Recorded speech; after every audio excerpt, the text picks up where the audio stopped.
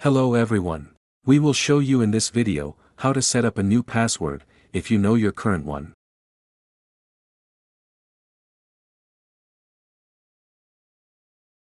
Open the website. Sign into your account. Enter your username. Enter your password. Click the sign in button.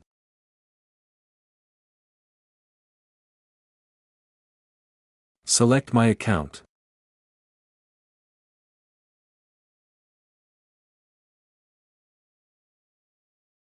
Enter your current password.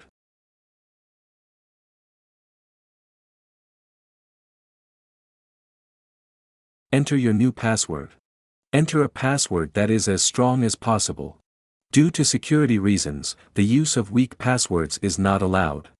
The little i icon will give you a hint on what the minimum requirements are for a minimum good password. Enter a stronger password. A strong password is even longer and more complex. The use of a strong password is recommended. It is extremely important that you enter a unique password that you do not use elsewhere. Perhaps, you should consider using a password manager. Retype your new password.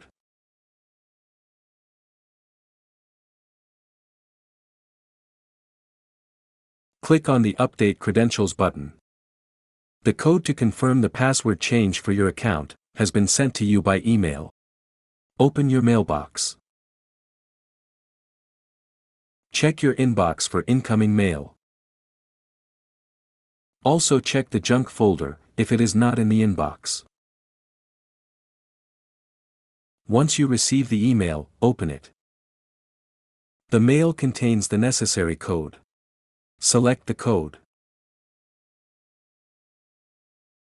Right-click to open the context menu, and select Copy. Alternatively, you can use Ctrl plus C. Switch back to enter the code. Enter the received code in the code field. Right-click to open the context menu, and select Paste. Or the Ctrl plus V keyboard shortcut. Click the Confirm button. The password has been successfully changed. Click OK. You can use this method to change your password frequently, further increasing the security of your account and your data. Thank you for watching. And see you in the next video.